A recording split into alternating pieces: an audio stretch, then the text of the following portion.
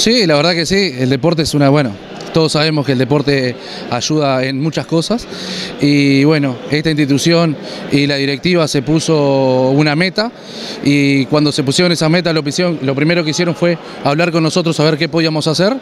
Y bueno, se presentaron los proyectos y bueno, hoy ese, ese sueño que tenían es una realidad, son dos canchas nuevas, iluminación, fachada, eh, bueno, pintura por, bueno, como lo pueden apreciar. Y, la verdad que se movieron muchísimo, no solo eh, eh, la institución con el ministerio, sino también con empresas privadas que pudieron ayudar a que esto sea un éxito. Es muy importante lo que decís, la coordinación entre lo público y privado para concretar este tipo de cosas. Sí, claro que sí, obviamente. Eh, el ministerio aporta, en este caso aportó más de 4 millones de pesos, pero eh, hay otra, otra contrapartida que la hace la institución, que muchas veces sabemos que las instituciones se mueven en base a, la, bueno, a, las sociedades y demás, que no, no, pueden lograr, si bien acá tienen una rifa muy importante que hacen todos los años, eh, no pueden lograr ese capital para poder hacer una obra de esta, de esta infraestructura. Así que los privados ahí fueron también,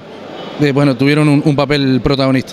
Digo, sobre el trabajo en el interior y precisamente en Tacuarembó, ¿qué otros detalles podés agregar informar aquí para la teleaudiencia? Bueno, ahora nosotros estamos trabajando aparte con todo lo que son los pasos frontera, eh, estamos trabajando mucho con los pasos frontera, Tacuarembó depende de lo que es la regional de Rivera, hoy estamos, eh, nos está acompañando también el equipo de Rivera, de Durazno, eh, ahora también viene, en un ratito ya uno más viene el, encargado de, la regional de Tacuarembó, entonces para, bueno, para coordinar, ahora más tarde seguramente vamos a tener otra reunión para ir coordinando toda esta parte, toda esta zona. Y bueno, viene la ingeniera también, que, es la ingeniera de vialidad, también para en conjunto las distintas direcciones del ministerio poder trabajar y, bueno, y que las cosas salgan lo antes posible. Eh, explicarle a la teleaudiencia, ¿qué son los pasos de frontera?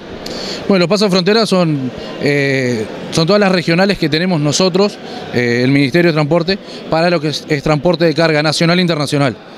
cuando uno pasa de, una frontera a otra, tanto en este caso que se van para Brasil, bueno, ahí hay que hacer una serie de documentaciones, hay que hacer una serie de documentos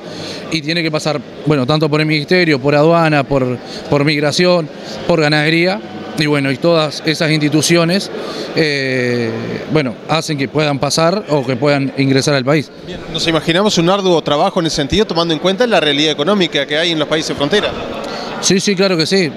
tenemos eh, varios problemas en lo que es Argentina también, por un tema de, del costo del costo país, pero, pero bien, eh, la, verdad que se viene trabajando muy bien en eso, los camioneros y demás vienen trabajando bien y bueno, la idea es poder facilitar a todos los camioneros y a todas las empresas de camiones, no solo de camiones, sino de ómnibus y de pasajeros y demás, que puedan facilitar tanto tanto bueno, eh, las recorridas que tienen en Uruguay como cuando la salida al exterior.